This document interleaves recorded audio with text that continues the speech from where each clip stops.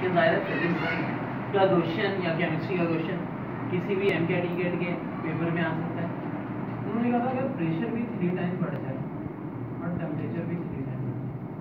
तो root mean square velocity कितने रहेगा यानी directly proportional under root T के भी होगी directly proportional under root T के भी इसका मतलब ये है कि प्रेशर थ्री टाइम बढ़ने से भी रूट थ्री टाइम बढ़ेगी।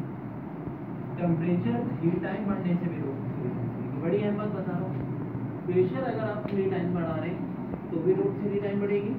टेम्परेचर थ्री टाइम बढ़ा रहे हैं तो भी रूट थ्री टाइम बढ़ेगी। तो इसका है थ्री इंटू थ्री इंक्रीज कितनी हो जाएगी थ्री टाइम रूट थ्री को रूट थ्री से multiply one of the most important M in M